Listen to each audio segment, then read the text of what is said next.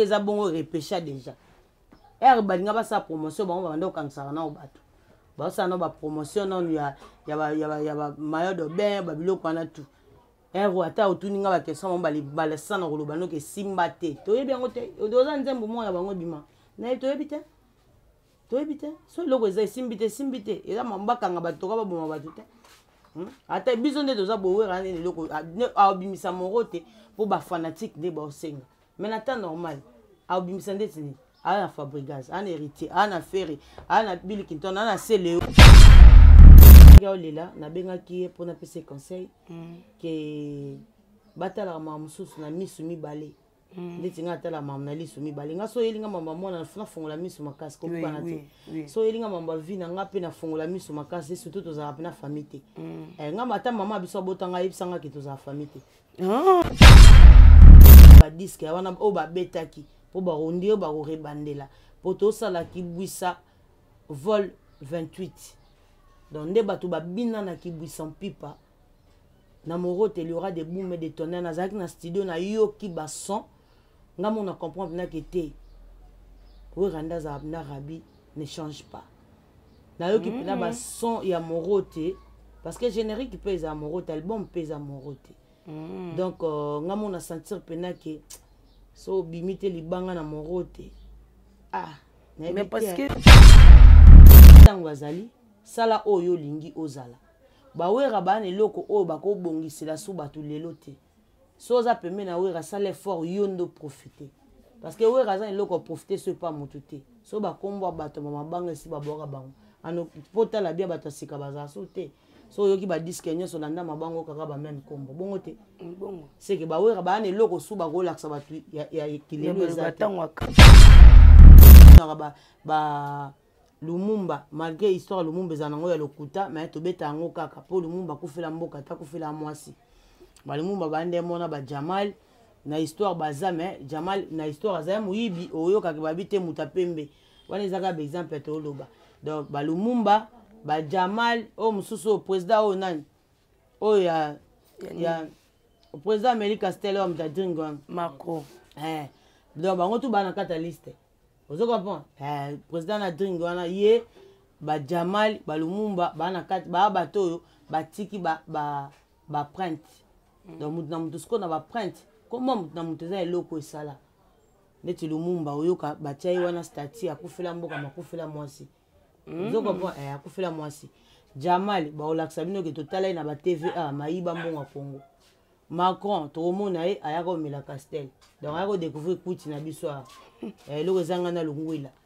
c'est pour cela dieu m'a mis au cœur na lancé message oyo na bato nyonso ya motema malamu basunga bana oyo bozomona na bilili bana oyo bozomona na bilili ndambo na jeu na rond point ngaba ndambo victoire ndambo limete epuis ndambo leta apesi ngai mpona bandeko na ngai nyonso bacongolais boyebi barealité nini topase na yango na mboka soki ngai simple individu nandimi kozwa bana oyo nabokola na ainsi dit l'éternel soki leta se décide tomona su bafaser na nzela te c'est difficile ya kosala yango ngai moko c'est pour cela nazolanse appel na bana nyonso ya nzambe mpo na classe ya bana oyo mpo na loyer na bango kolata mpe kolia na bango naosenga na bato nyonso baza cœur sensible mpe baza na motema kosunga basunga biso mpe basalisa biso toza na commune ya kalamu quartier kauka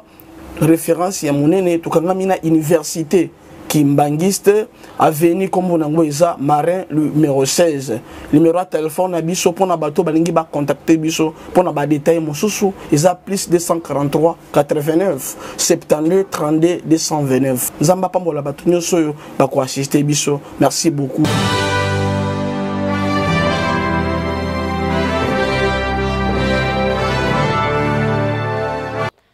cher ami internet mbote na bino nyonso baye bozwi libaku ya kolanda ritiana kabe ya la japonaise ça dépend ya l'heure oyo okokutela video soki na pokwa bonsoir soki mpe na moi oyo bonsoir e eh, bonjour pardon merci na kolesu masiya parce que opesi biso souffle de vie olamusi biso vraiment opesi biso makasi merci na babone tout ya chaîne oyo vraiment bolingaka chaîne na bino oyo vraiment bopartageaka video bolemba te bopartage bolike video esalaka biso vraiment mwa babien merci na jérémie jeremi babi grâce na ye nde omoni nga lelo liboso ya cameraman merci na bato tout oyo bolanda biso oyo bozolanda vraiment bopartage video lelo toza na odile manzaka mwasi nzambe oyo boyebi ke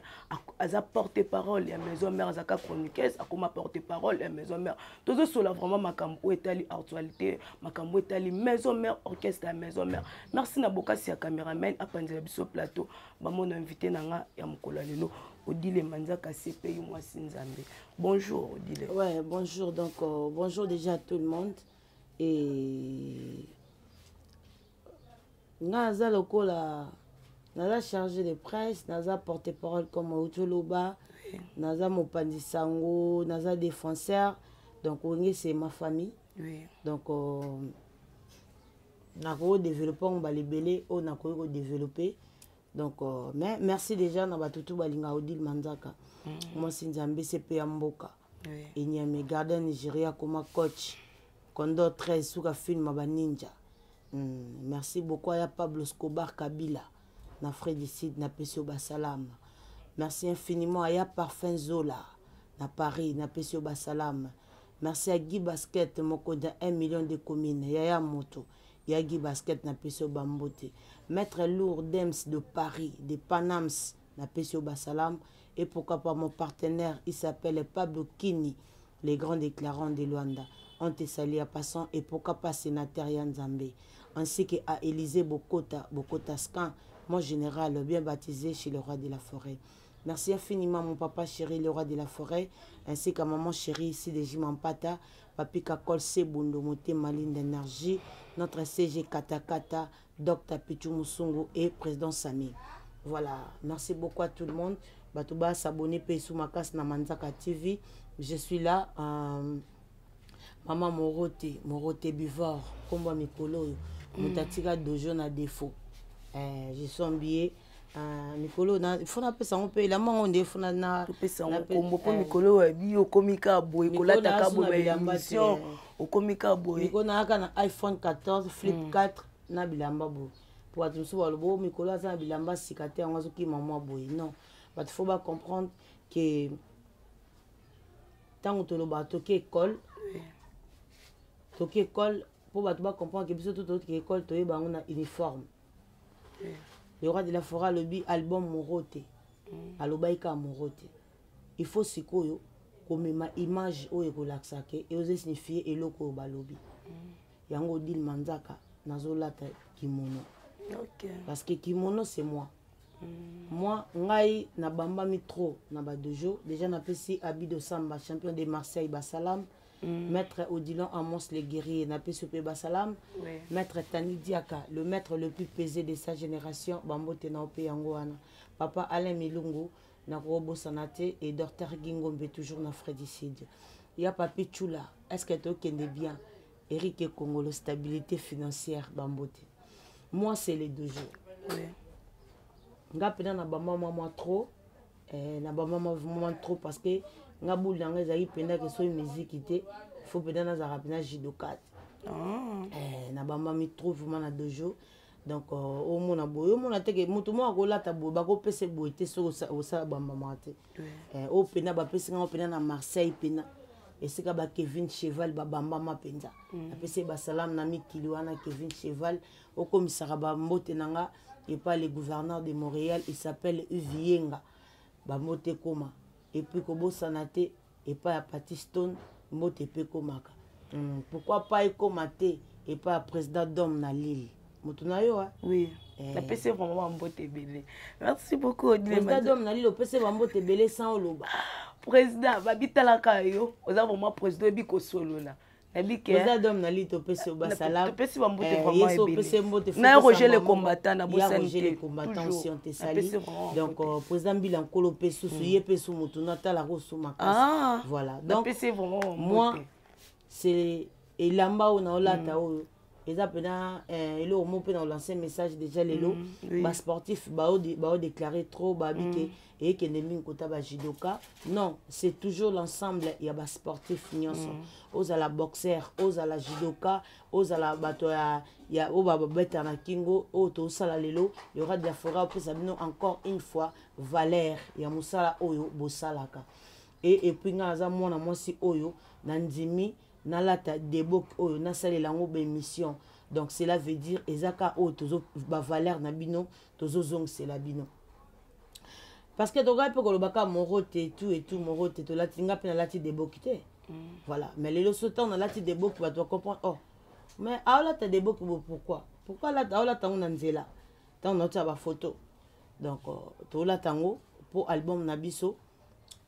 bato fo babongama mpena makasi ekobima eh, kan mpo yango mpena nde bato baotolingi su makambo ekobima kan te mpo bato esi batya bakan kan kokolo ezalaka teeokende bien kan kokolo ezali oyebi te kaseta mpe ezali lokola bakan wana ezalaka seke bato bazela kaka biloko ezobela kala mingi te donc bato tu bazela eza mpe na mwa te oyo bakobato mpe towela mpe nzela na direction mpe na motu moko te toza mpe na même morale na bato tu towela mpe eloko te nayebi deja ke flavi panda ye azalaka so na osala bomona oloba odile manzaka toza mposa toyeba kan kan kokolo tolingi su te eh, donc bato babongama mpena nde makasi babongisa mpe badiske ya wana oyo babetaki mpo bakondi oyo bakorebandela mpo tosala kibwisa vol 28 donc nde bato babina na kibwisa mpipa na morote il y aura des boume de tonnerre nazalaki na studio nayoki bason nga mona comprendre mpenake te weranda azala na rabi ne change pas nayoki mpenza mm -hmm. bason ya morote parce que générique mpe eza morote album mpe eza morote mm -hmm. donc euh, nga mona sentir mpenake so obimi te libanga na morote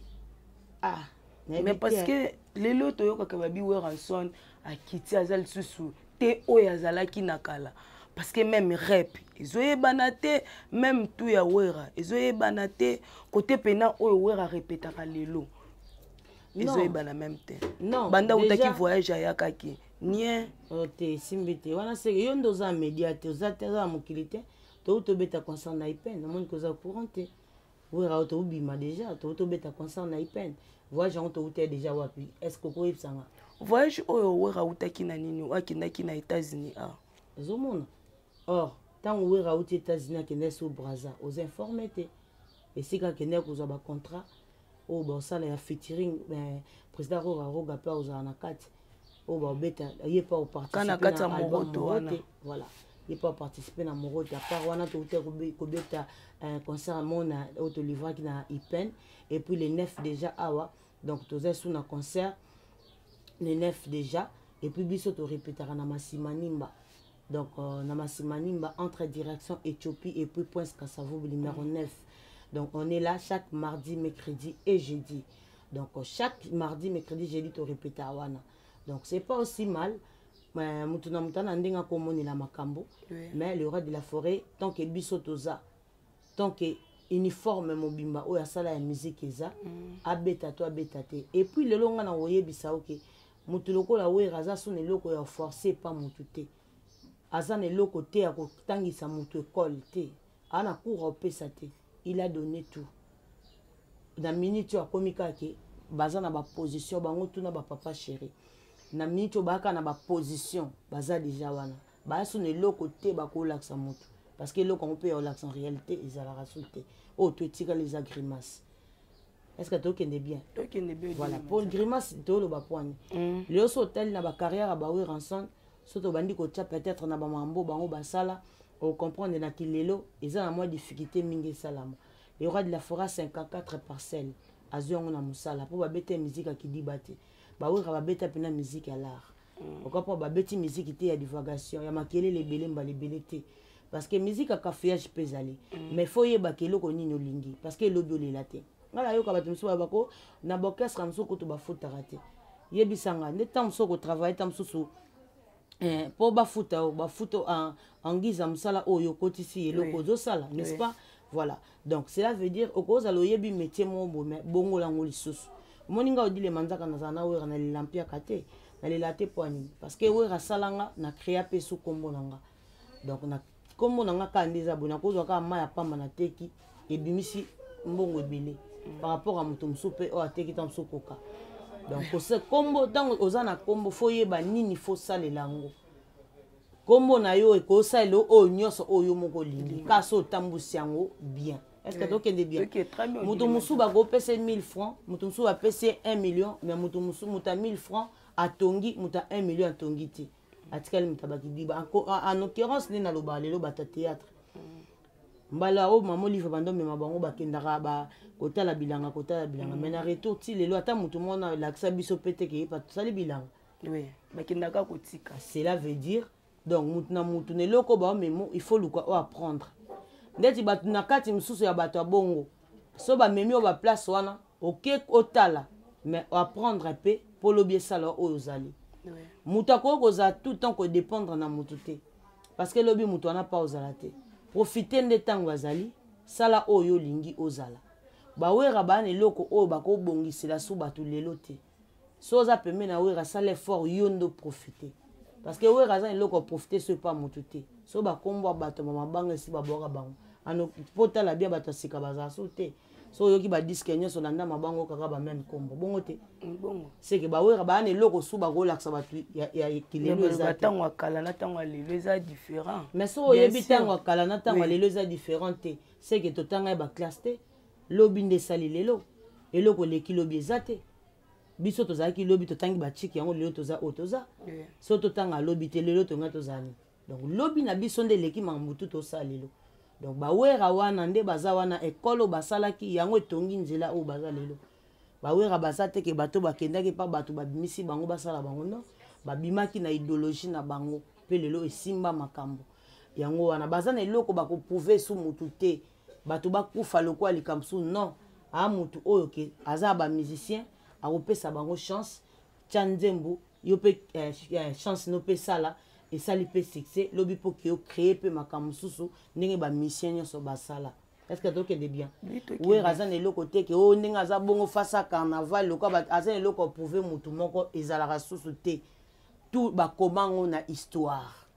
bawera baza lokola nde tomonaka ba, ba lumumba malgré histoire lumumba ezala nango ya lokuta me tobeta yango kaka mpo lumumba akufela mboka te akufela mwasi balumumba bande mona bajamal na histoire baza me jamal na histoire aza ya moyibi oyokaki babi te moto apembe wana ezaka baexemple ya toloba donc balumumba bajamal oyo mosusu oyo président oyo nani oyo ya, ya président ameli castel oyo moto adringo macro eh. donc bango tu bana kata liste ozo comprendre eh, président na dring wana ye bajamal balumumba baa na kati baa bato oyo batiki baprinte ba, ba, ba mm. donc moto na moto sikoyo na baprinte komba moto na moto eza eloko esala neti lumumba oyoka batya ye wana stati akufela mboka makufela mwasi hmm. ozo comprendre eh, akufela mwasi jamal baolakisa bino ke totala ye na ba tva mayiba mbongo ya congo macron tokomona ye ayaka omela castel donc ayaka odécouvrir kuti na biso awa eh, eloko ezanga na longwela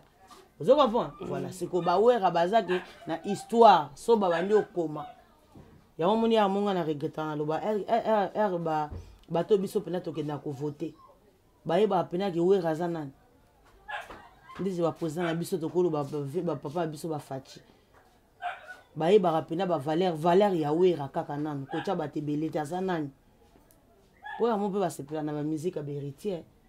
basepela na bamiziki ya bafere ya ba tout le monde mais sikoyo bayebaka mpena ke wera azalaka nani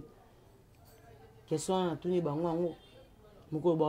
baoyeba mpena namoni mpena ke namoni mpe ndeti nani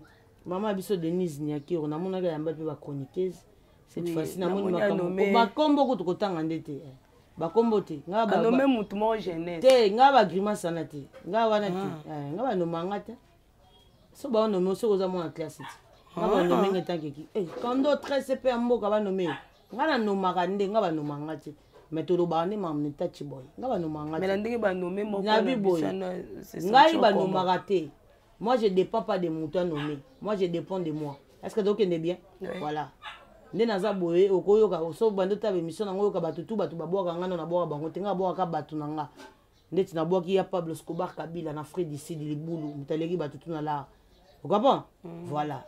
nga abwakaka nde siko bongo merci beaucoup euh, dilemanzambe na ndenge ekomi bongo esala bien parce que eza mboka na biso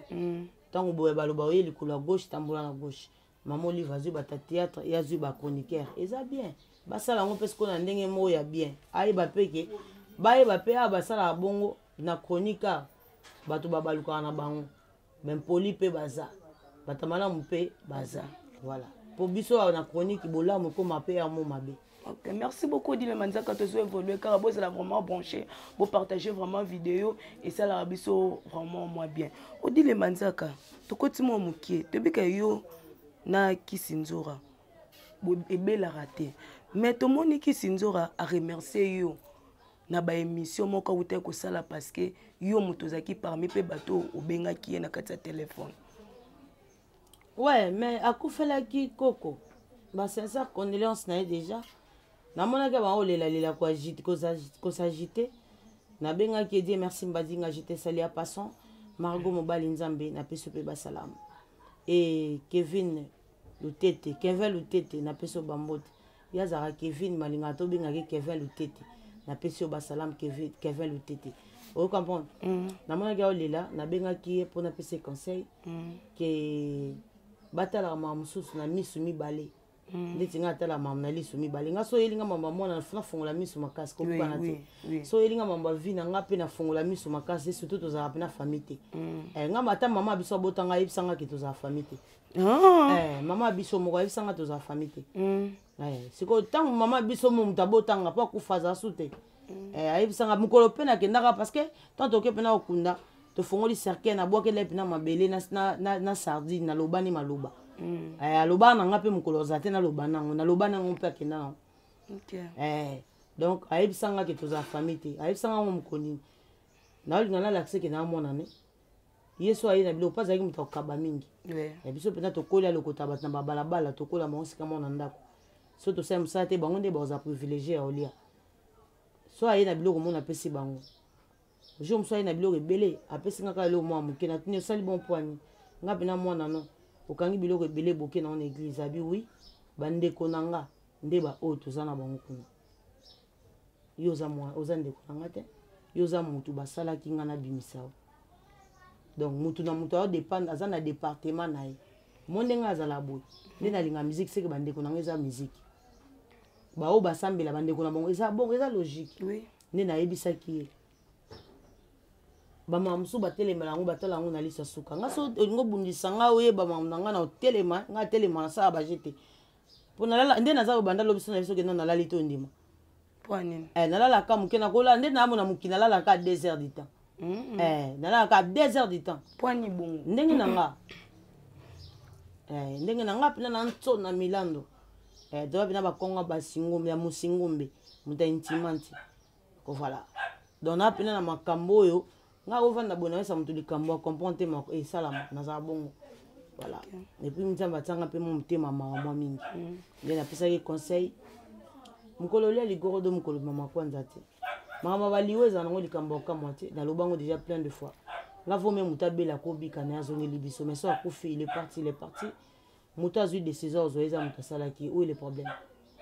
sofa asala so bato mbala ebele atya mpo moto abimisa eza grave te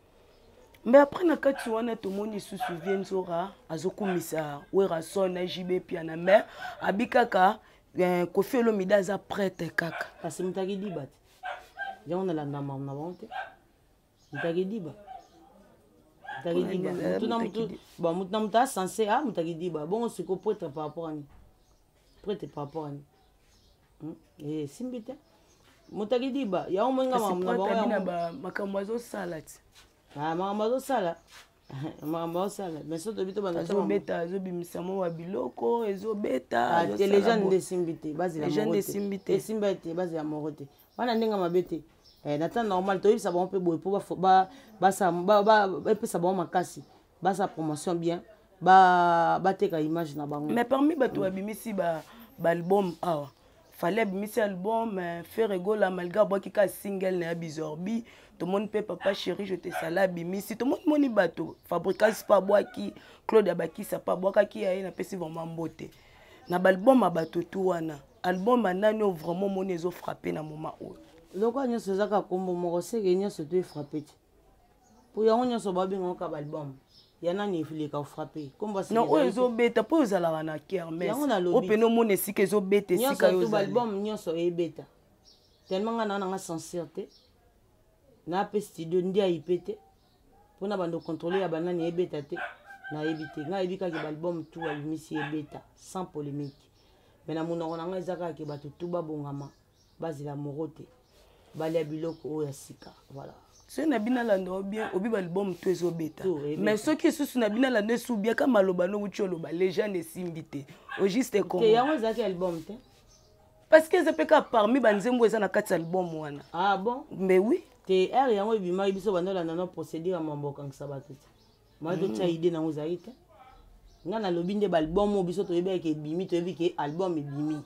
yango nde nabi ezobeta yango ntango ebimaki tobandana tozali na procédure nao bakangi ye baokangi elobi akokende kosamba akokende makala bagrimance tu wana yango tobanda olanda te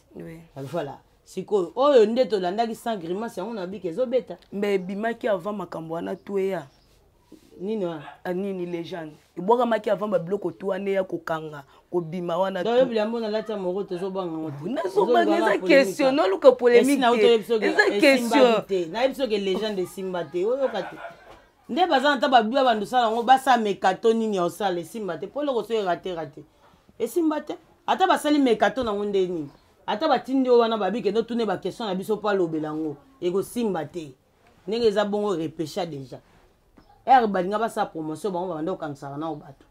basala nao bapromotion nano ya, ya, ba, ya, ba, ya ba mayo de bain babiloko wana tu ere ata otuni nga baquestion bango balesa na koloba noki esimba te toyebi yango te oza nzembo moko ya bango ebima naye toyebi te toyebi te so eloko eza esimbi te esimbi te eza mambo bakanga bato toka baboma bato te hmm? ata biso nde toza bowera nini eloko abimisa moro te mpo bafanatique nde baosenga mai na temps normal abimisa ndeti nini aa na fabrigas aa na héritier aa na ferre aa na bilkinton aa na celeo aa na tout wana wera te mais atikaka bafani ya maison mare te r to eza kaka ke moro te bodile baza wana mpe deboki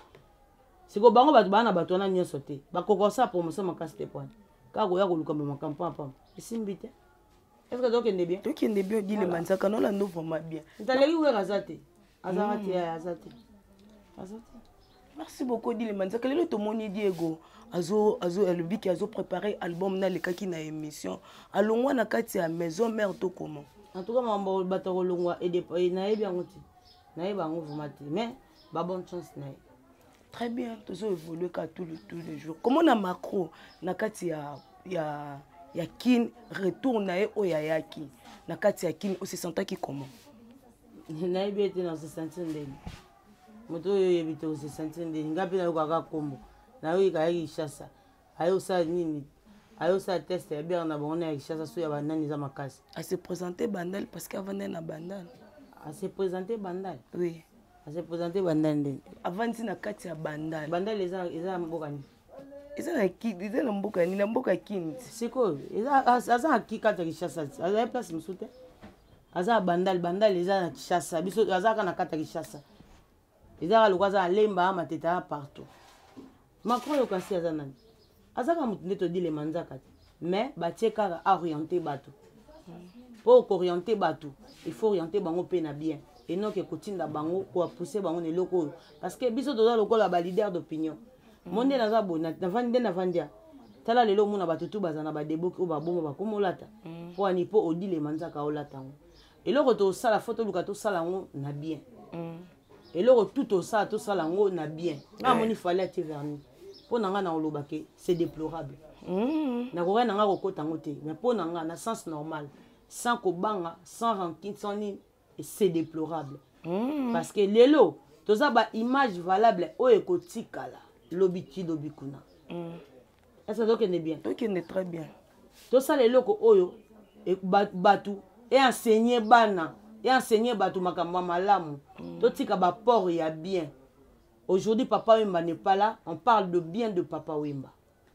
y a pas de king kester emeneya bato balobaka bakomba king kester emeneya na bien mais eza na bato mosusu mpe bakufi bakotanga bakombo na bango mpe na ndenge ya mabe c'est que onuire image mobimba ti na se nango mwana mobali azalaka permis ya kotia verni te modebe wana ekomi mode ebebi nango mais ye aza numero 1 ya miziki makambo ba numero 1 wana eza makambo bato babeta develo ye ayebi amemi na façon na ye bajare bien tokende très bien moi je suis en train de parler eza polémique te oui. awa on fait, on fait comme eh, c'est l'analyse qu'on fait oui. eza nga naza chroniqueuse nayambi mpe yo tozosolola oui. na temps normal mpona oui. koaide bandeko mosusu meme baoyo bazalaka na ye to baoyo bazalaka na ye te ezala biso mpe parce que naomona mwana nga mobali atie verni na bandi olela mbala ebele mai ntango mosusu azaka fanatike ya fali atie mpo fali atiaki oenseigne bana nini tosala makambo na sentiment te moto atie verni wana oyo olandi mpo otya atya verni yo moko mpe na motu no fo oyeba mbala ebele oza mpe na mwana moko ya mobali nokono mpe aza na mwana mbala omona mwana yo na verni na maboko conscience ne koloba nini ata tokufa na biso deja mais toyeba ke dieu existe auti olakisa eloko mona mboka moko awa bato bayaki baglorifie satana mais na ntongo nango batiolaki kala mingi te awa eza na brésil donc cela veut dire makambo tu tosala fo tosala yango na bien e enseigner mpe bana succès c'est bon Succès eza bien makasi mais succès yango pe eza na ba printe ya malonga, eza na ba printe ya bien. Ozo saigne batu nini? Omoni tango artiste atelemaka, mm. moto aotala ata mosusu biso oza batu mosusu atelema ndoko awera. Ta papi kakol. Ya maso atelema okante prezi. Po ani kowumela. Tellement azalaka na ye trop akomi na ba stick na ye ya prezi.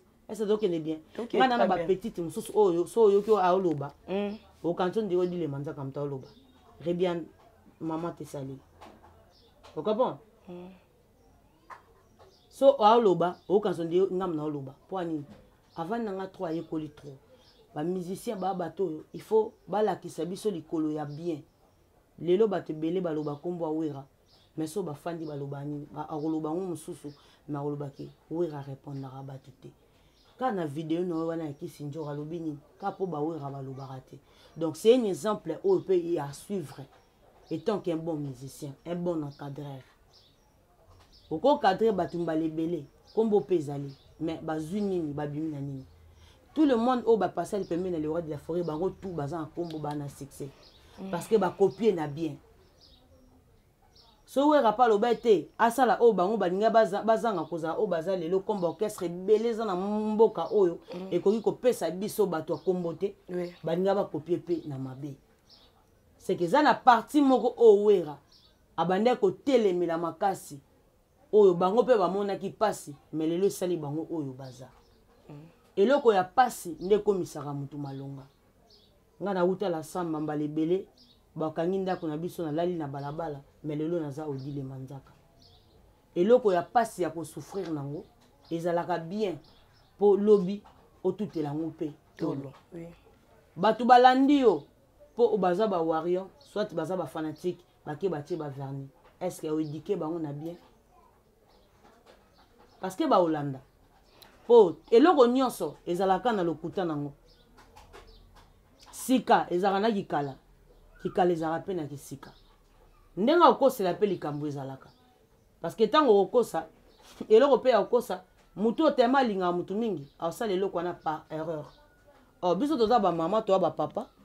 toya baleader d'opinion so eloko eza ya mabe tolobaka mpena tu oke eza mabe parce que biso mpe oyo oyo toza nango toza na mama na charge toyebi te tokoma ofandaka ata mosusu mpo na bapolémike mais charge oyo toza nango lelo jeunesse ezokufa totala kaka boye toza na ekole ya malonga te toza na courant malonga te toza na mai ya malonga te kongola aza na lipa malonga te aa na problème ya courant makasi mpo batongi 95 immeuble mbala moko epa motu moko mpo aza depute me motu moko ayebi te nde nini akovanda na immeuble courant moko fo ekota ezala na boulangerie mpo congolais alipa nyonso emati na immeuble oyoka souffrance toza nango seke kote wana fo tokendaka mpe totalaka mpe bakote wana kongo eza na mama na souffrance oyo oh, so babandi okabolelo yango oyo oh, kokosimba yango te ntango bamisien baoya bato baolinga mpe bango na banzembo yango seke efo ezala edikaka mpe masi jeunesse ebandi kokufa kaka na musique te mais musique mpe ekochange jeunesse musique ekoki kobongisa oyo tozangi kobongisa en occurrence maître gims ifalaka aya na moto ya divers awa boyaki mpo ani parce que azomona te rapport nini oyo yakoya kotambola na yo oya aya otambola no mpo oteka image na ye ke ye mpa ye koaide yo olangwa na yo eloko nyonso fo kosala fo oyeba bit na yango eza nini apport na yango kibien na yango ekozala nini c'est bien mais apport ya eloko ozosala ntango macron ayaki awa après esali nini babi tobiki na concert na france tobiki na baconcert parce que koya ya macro boye peut-être mpe bamusicien mosusu oyo bazala mpe na mposa babeta france peut-être ezala na mwa difficulté par rapport peut-être afali pupa mo baporte mpe kofongama ti mokolo obanda okanisa ke mpo bato basala makambo nyonso oyo balingi basala eyo bando dépendre na moto eza première heure osala comment ça première premièrement mboka no ezalaka ya biso te mokolo biso azalaka te oyo tokolamuka mpe boye toza te tokoma otya motema na bamacron ndeni macron aza lokola yo bayebisi ekandi na uta ekoloba oriente bato akoki na ye te aye ameli castel aza parmi bato babomi sous jeunesse yango te hmm. ntango oyo omeli castel un président de la république oyo explike biso nike kuti eza bien otangisi biso eloko nini ndenge oyaki otangisi eloko ya malonga te tina oasenye nini oasenye congolais moko eloko te oh, congolais moko soki enseignaki ozalaki ata na biki na papier ata congolais moko ayebi ne koloba te kotanga te alinga atuna batata na ndenge akibaba biki na papier elakisi ni babe elakisi ekole mais yo oki place moko boye un président de la république omela masanga olangwe omela masanga devant bato baomona esimbi te moto abongo ngai nde naza vandi boye ngai akosola nkombo na ye te parce que ngai naza lokola naleki na maturité mpo ngai nakoki jamais komela masanga bato bafilme ngai bongo puso naza cadre monene bongo déjà nde toza bodile manzaka bato wana makambo mosusu tose permettra te tosala kombe lefa nakomi président we komela masanga c'est bien mais ozomela yango na temps nini na temps oyo biso tolela se koye oseka biso na temps oyo biso toza na problème congolais moko akolata veste a ah, maoloba nzela nzela malati veste na chaussure oyebi oloba nini aa na 12 000 francs 4 bana baolia ndeni courant na mai epai koto biso mo mpe nde tovandi ya oza courant mais tovandi kaka tobeta macron akomela castel macron seki yo omonaki macron wana yo omonaki ebaa famille ya bajamali yo omoni ye danger jamali ayiba biso mbongo famille ya macron te oyebi te eh?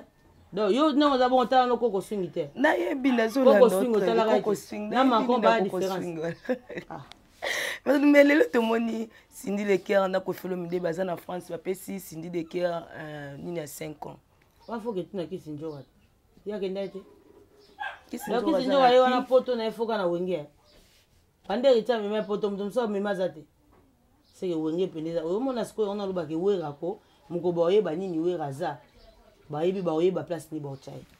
donc kisi nzoka ake na ye te ifo aza parmi bango aza soda ya bundama makasi akende nde etaki akufelaki te bo mambo akufela mambo ba voyage eza nde moto bazali na mbongo bazala na mbongo ya omema moto na voyage ah, bana eloko te bakendeni bango bakenda kutu bavoyage wana moni baprince bakali deja na pese basalamu wana na motu na nga jérémi yoka yoka son jérémi yoka na peso bambote ebele e, bg manda papa libanda soin basalamu na yo donc omona ke bakenda pota ba tourisme eh, ya kashimani boye eza te bamema kisi nzoka tondima ya tunanga na awa wera amema ko wapi nakenda ba guinée na ba business class nakenda ba cote d'ivoire business class kisi nzoka pa ekenda guinée yango na oloba ti mm. yango na oloba akenda guinée me na manière ninga akenda na business class na jet privé est ce que tokende bien tondenge moko te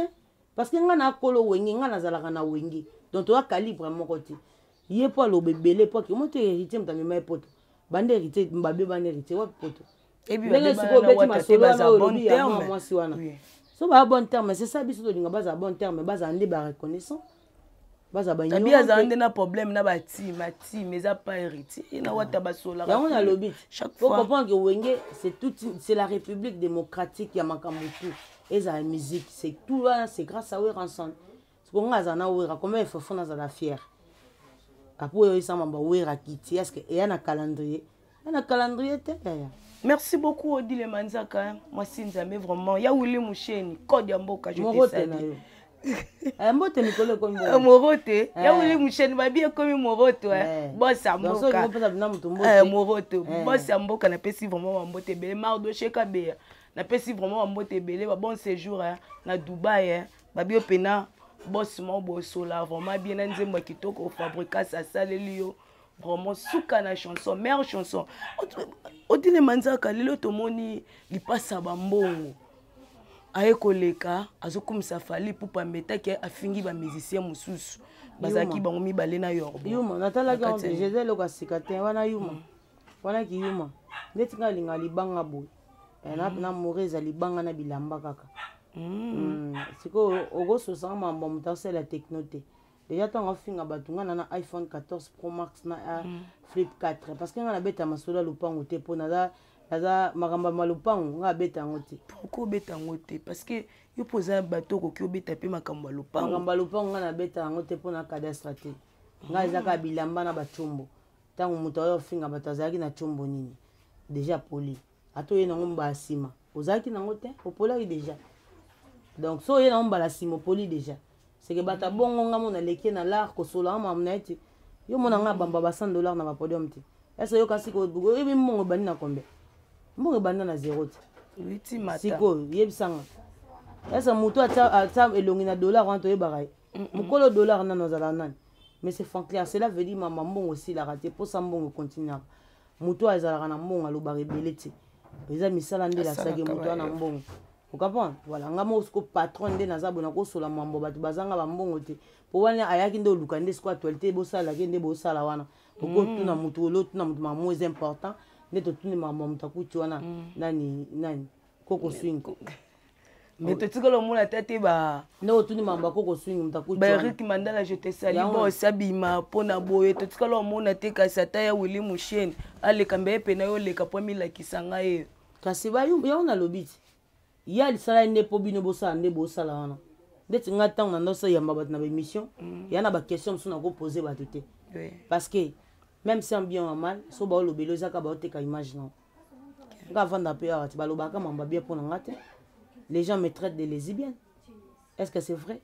bon. est ce que c'est pas vrai ça n'a pas fait te développer est ce que c'est pas vrai ou c'est vrai moi je sais que c'est vrai c'est vrai je sais aussi c'est pas vrai mais est ce que naza mpo na nani nde nani fasambisa c'est vrai mutu te mais batiaka bon pwani parce que baa na mposa mpe batualite ya bapage na bango odile mm. manzaka aza kombo so nakomi odile manzaka bato bakotala ngai aza mposa mambo wana te ya deba wana ngai na ngambo na yo oloba eloko wana ti iphone ezalaka misike akreaka babiloko moboya ye moko totya yango bien tete hmm. ozo comprendre hmm. bato batyaka bongo pwani omoni eza bato mosusu bapiblie ah, ye olelela bato yango ngai kutu ntango bapiblie yanga te ifo asime tout parce que ntango olobi oza na nkombo ifo ndima nyonso ifo ekomela hmm. ifo tout ondima tout mposo oboyi yango seke oza nkombo ozokoma te elobi ata shomi le coach merci mpona dédicace yaya donc edendisa odile manzaka elise bokota big up à toi shomi na ngweri ya bato ya maiso fabrigas eh, donc suka nayebisi yo bongama mpe ya shomi mpo morote ezoya toyoki dendisa na temps me morote mpe ezoya okoyoka mpe ke ba okoyoka ah, toza na ba eh, jamaïque oyo bakopesa mpe indusa ba bon séjour na ye déjà na kinshasa ozo comprendre voilà donc soki nkombo ezoya il faut makambo tu ya mabe mpe ya ya malamu mpe eya parce que fo bato ba fo bunda ti fo ye mo mpo comprendre ndake non banotyanga eh, kate mpo nazalaki nga te siko nde nakomi nga fo makambo ezala siko ye mpe ndenge ayaki bongo ti abetaki bandika wana mm. abetaki bo mpo bokisalela ekoma baemission na nde nini o oh, kingandi nani na ndeni esimbi te bino moko mpe bosituna bato bakesa boyebi mpe ke aza na eloko te boyebi mpe ye te atonga mpe eloko te ndeti biso oza awa ngai naa na kasavubu awa esika na bango awa yango oyo toza ata na biki moko te oyo eko eza donc biki moko ata donc ata mwana moko akozobaki asimba ata mifra na ye aza te mm. sikoyo oyebisanga moto abongo ngai afandi mpe na boye eh, bino na bia bino mpe bato bosalela bacombo na bino batekno fo kobamba yango miyibi na butu ti bato basala emission boye makele yango ekoti esimbi te eh, okomo mm. ye moko mpe ti asalaki bongo azalaki na mposa bobanda otunaka bato okingandi oh, nde nani kingandi nde na te oyo oh, cp ya mboko dile manzaka batunaki baquestion divagation te basololaka nde mambo eza na ndema ya mambo bato bayebani epuis motu azalaka na mbongo alobaka mbala ebele te monga to nazala na bacombo na nga boye nayebi ke moto to ayebi ke iphone 14 pro max eza combien ese fo naloba susu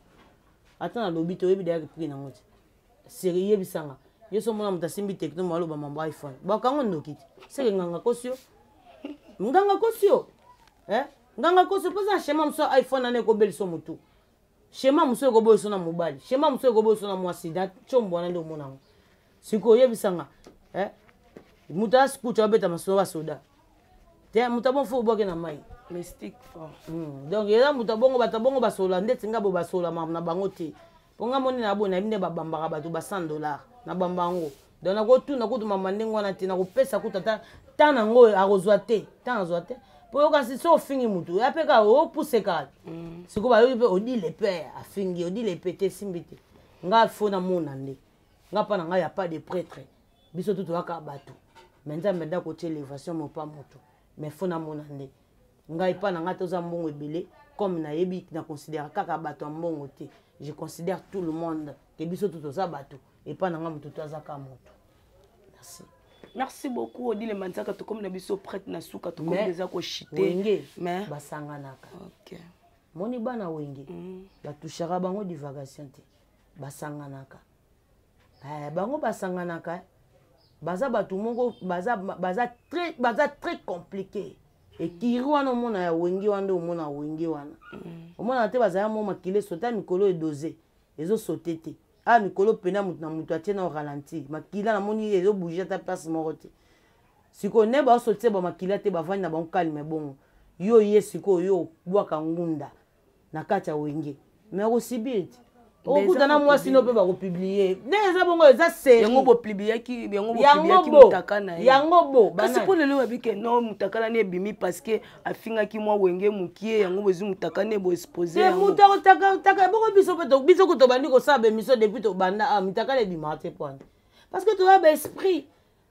nakoaproche tout le monde te nakosolana mbala ebele na motutu te motutu te akoyeba nini odile manzaka aza ye mona te bato mpo baloba mama na nga atatone mpo ayebi yango tokoyebela yango mpe wapi je fréquente pas des milliers nakendaka bwati te namelaka masanga te mokolo bakunda matanga nakenda te mama batasisi nakenda te ozwamtaka alobi mbala moko ewumeli te mais yango nalobaka ewenge c'est tout un esprit biso oza bato tolelaka te awa yo ozomona moto bakomi balobi ke odile manzaka ya lesbienne na ye nandimi na biwi na lesbienne wengeti biso toboyo tolelaka te eloko oyo olingi toyebi soki eza danger te eloko olobi eza eloko te eza nga yo oza nga te okóma mpe nga te so olobi mpe bongo elongoli nga ata un tiers te ya ozala odile manzaka bato nde baocomprendre ke oza mposa oyebana na nsima nkombo na nga ese ozokende bien voilà mpo baoyo bayebi odile bayebi ke odile azalaka boye azalaka boye yo oye olobana ndenge seke olingi oyebana omonaka page no bato baotangoka divi okomprend mm. biso sikoyo wenge tozala bongo wenge c'est tout une esprit c'est l'état d'esprit biso ozali mpena prese alobaka ke moninga asombi kara bien asomba ya bien koya kolela no te babeti yo mbata makambo oyo te konga ntango babeti yanga mbata etali yo so oza mbata te kasi olata deboki te yo nde oyeba te wenge basakanaka na ngo te naotala liso wenge na makambo yango ayebi te ah, bango mpo badose il faut eza ata mosu fabrigas na oyo koto basimbani robinio na deplike kingandi na kingandi me mikolo oyo nazomona ndenge makila na bango ezosote nango te namoni joyeux anniversaire à toi kedi nomiel que du bonheur joyeux anniversaire à toi miel de sang donc euh, profite bien de ton jour ah, miel donc, de euh, sang joyeux anniversaire joyeux anniversaire ah, à toi kedino miel donc voilà ozoka mpo mikolo amoni mpe abraham na miali badose na bango mm. mikolo oyo batuka wenge eza na na dosement nayebi te baozi bango tu babi baozi combien de so abimisaki dose dose yango wana dose dose a mwana mpe azalaka mayele abimisi eloko yango donc dose wana edose mpenza bango tu babi baozi na moro te mm. yango omoni ke nde bazala bango moko te bongo lokola kaka moto aye komikotisa dor amibwaki na kati ya libulu ah yaya na mitakala bana ekobima eh? na ya batata mwasi na omona kaka ndenge ekoya awa combola eza asimango ah, bien simba ou bien yanga kutu deja ezokanama hmm. simba bientokomi deja simba mna combo bien ti tokoma basemaine wana obona bakoko na bango nyonso koya babundisa kanda bango nyonso mikolo nde bazoswana te boye bazala na bango moko te sikoyo basangeli yo te moto akana na ya babebe kobima zeli okomona mot de la fin na yo mpona en tout cas merci infiniment à tout le monde oui. bato balinga odile manzaka comprenez moi oui. moko bocomprendre nga nini naza Eh, bomona ke odile aza kote mabe te ndeti kote nango toloba awa ah, bato mm. mona bato fali baloba odile olobi fo naloba bongo parce que fali aza artiste ya mboka eloko asala ya bien tokosepela nango oyo ozala mpo na bien na bato ebele tefélicitation c'est la famille oui. eh, c'est la famille eza miziki ekendaka bongo oui. eh, problème eza te soraya mpe so alinga koma chanteuse fo akende olandaka lokolo oui. eza normal Eh, problème eza te makambo oyemba ezaka bongo okosutuka bubu oyebi te bao ntango mosusu mwana ayaki mm. ayaki mpe ntango mosusu ayaki mpo asa courage okoyeba ndenge hmm, eza mabe te azolanda lokolo akokoma chanteuse wana eza félicitation eza musique congolaise mpo bocomprendre ke biso rankine ezalaka nango te ezalaka bafanatique nde bacreaka bahindusa oyo alobi oyo alobi mai na temps normal concert na ye ebetamaki bien mm. tomonaki mpe bato baye na bango d'accord mm. tomoni mpe invité spécial soraya mwana eh. papa chéri elekaki mm. bien défaut eza kaka pourquoi tia me silisa no. verni, verni. Ah. yango ya noir emati awa eh? verni ya noir emati eh? odile manjaazimapelani cornel kasongo eh. bayo apesi lwa eh. ah. abiso amoni mwana mobali na verni bakangi ah. asali bien te asali bien oh. eloko yango soki bando okende bongo eza bien soki te meninga oza mabe hmm. eh, mais esiliti po baolanda baolanda exemple mobobanga star kasi fo sa sikoyo nde ya bien boma sofi ntango atika mabele polele toya kobelela ye a ah. ye nde so asali eloko mabe toloba te asala eloko ya bien te mosusu mpe susu asala ya mabe tokoya koloba eza bien te mwa mbaya ata averni te eza ntanga leviti 4 oyo komona makambo asali wana na punition nango okomprendre oyebi bible mm. kende na leviti 4 leviti 4 makambo asali ya verni ya mwana mobali mm. okomona na punition nango dieu parle à moïse epuis azofrappe kaka ye moko te na tout le royaume na ye ozo comprendre ok odile en tout cas général kasongo merci beaucoup hein. olobela oh, parce que colonel kiki rama nikota satan provoque jésus euh, napesi opena basalam yo oyebi et voilà en tout cas bato tout oyo balinga odile manzaka répétition na biso ezali toujours na kasavobo dans entre direction éthiopie avenue masimanimba numéro 9 toza wana mardi mercredi et jeudi donc toza wana bato bayaka ndenge ezalaka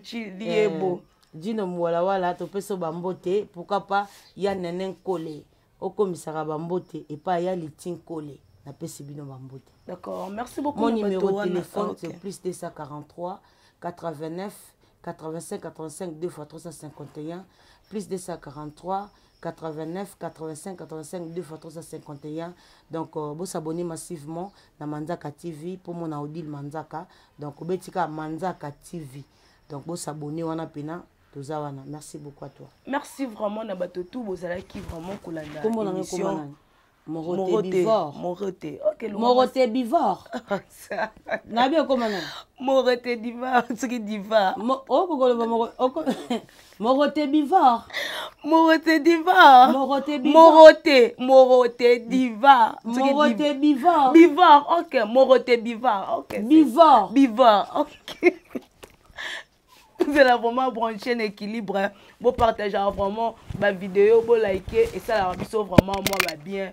babien nabosani te na césar passiote ya ngoi loboko wabi césar passiote ya ngoi loboko ye vraiment bos moko asolaka vraiment bien asolaka vraiment kitoko makasi césar passiote honorable napesi vraiment bambote ebele merci na famille na ngai kabeya merci na bato tu bazalaki en direct kolanda ngai oyo oh, vraiment bosutenangaki ngai napesi mbote na glodi napesi vraiment mboteobike na kati oyo te nabosanaki edison claire liyoko limete moko kaka